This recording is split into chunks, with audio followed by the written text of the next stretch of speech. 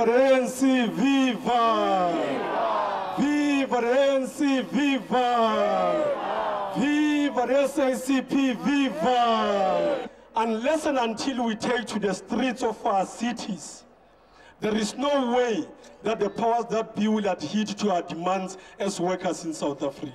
It will be important, comrade, as a major achievement in the new dispensation in our country, to give workers that 40-hour week.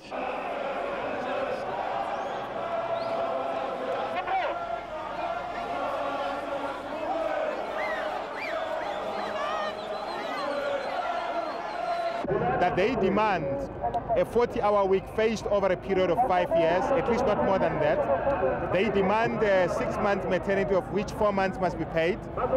We demand that um, the threshold for working children must be at least uh, 16 years. And we're saying to employers that we reject their position that says that uh, Sunday work must just be treated as a, as a normal uh, working day. If Business South Africa says the only way and the only language and the only method they understand is stayaways and strikes. Thank you